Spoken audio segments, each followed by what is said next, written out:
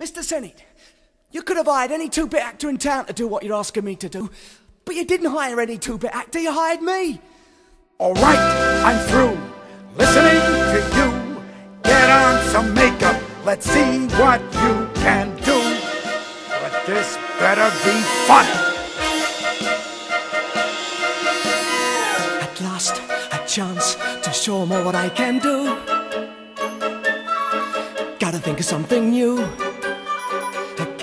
A no one has seen up on the screen before. There's not much here to choose from. Here's a pair of baggy pants, a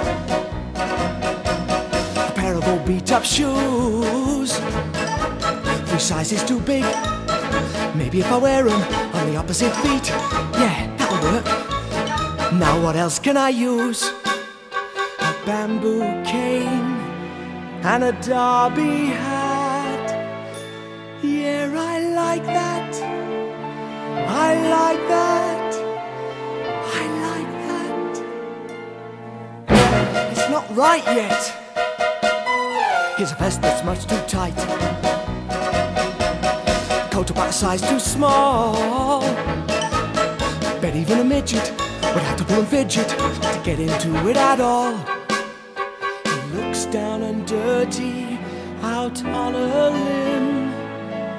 And yet, I like him. I like him. I like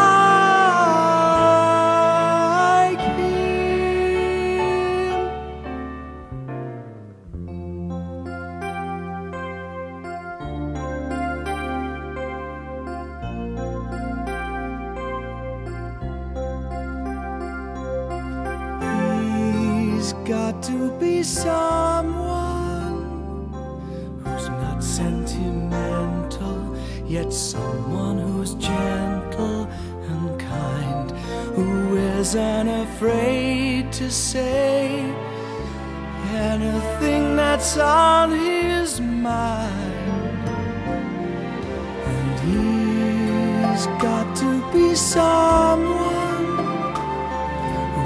the flowers and gives them to girls on the street.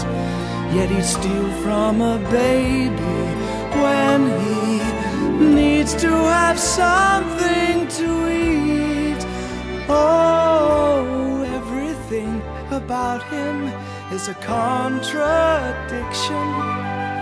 Never had much schooling, yet he's so very smart. Even when he's a scoundrel, he's always a poet at heart.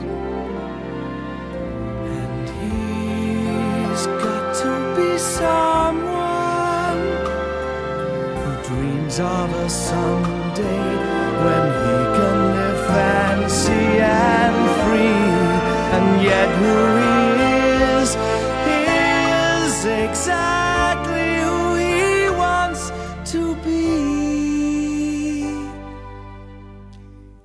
got to be someone a lot like.